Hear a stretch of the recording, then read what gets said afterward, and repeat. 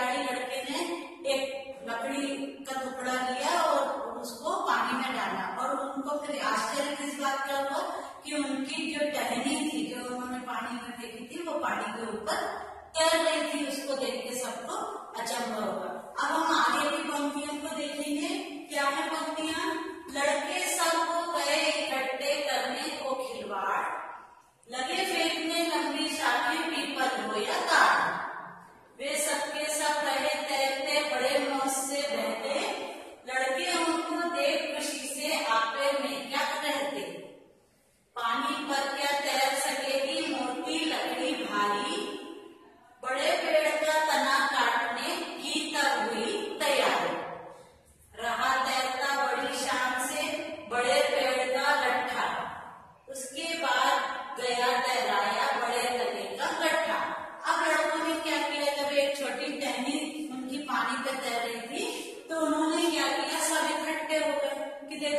पानी के ऊपर वो लकड़ी की टहनी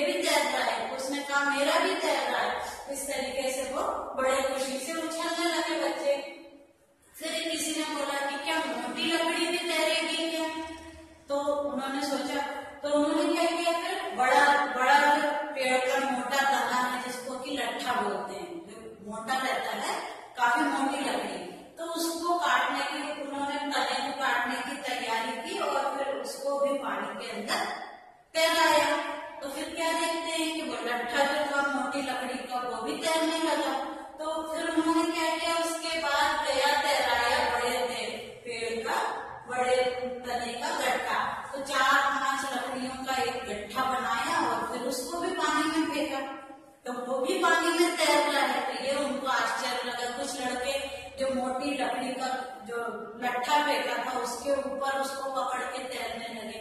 तो उनके खुशी का ठिकाना नहीं रहा तो क्या है कविता लड़के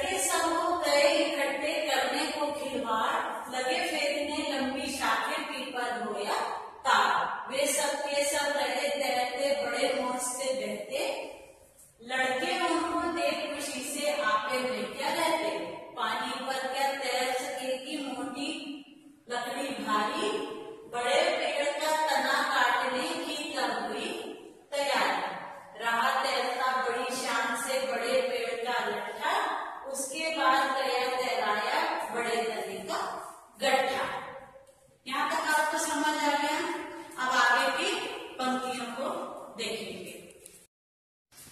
बनने लगी तभी से आगे छोटी बड़ी हमारी पानी से क्यों कर डर लगता विजय हुई थी भारी। साकर हमने जीत लिया है, छूट गया डर सारा। चले चीरता उसकी छाती, बड़ा जहाज़ हमारा। अगर नहीं वो छोटा लड़का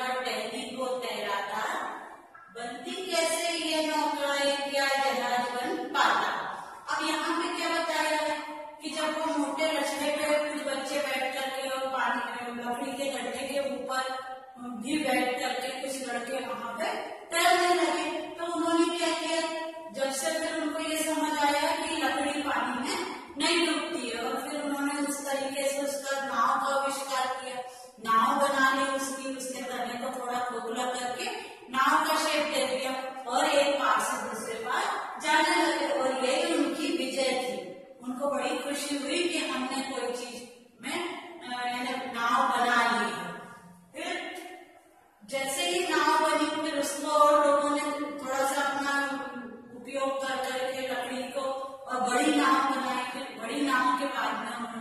एक बड़े जहाज़ को बनाया अब ये जहाज़ जो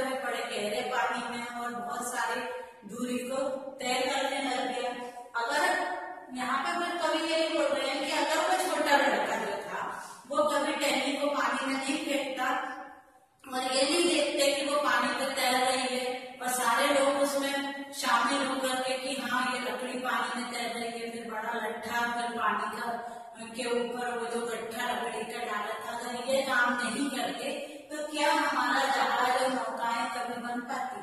तो इसी तो कहते हैं कि जब हमको किसी चीज़ की ज़रूरत पड़ती है, और फिर हम उस चीज़ के आविष्कार करने लगते हैं। तो एक छोटी सी कहानी के माध्यम से उन्होंने ये वाले जो कविता है, उसको समझाया। क्या थी पूरी कहानी? इस कविता की कि एक खेल रहे थे, एक लड़के ने टहनी लाई, उसको पानी में तैराई, पानी में वो ऊपर तैरने लगी, सबको बहुत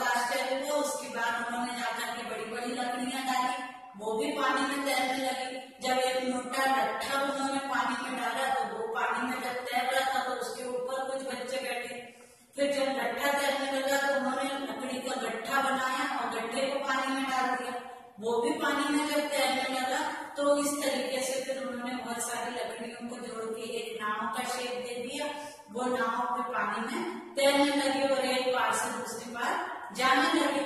और यही चीज़ को उन्होंने फिर बाद में और आविष्कार करते करते और बड़ी जहाज़ का निर्माण कर लिया। और आज इन्हीं जहाजों के ज़रिए हम पूरे देश, विदेश और गहरे समुद्रों में भी एक देश से दूसरे देश आसानी से जा सकते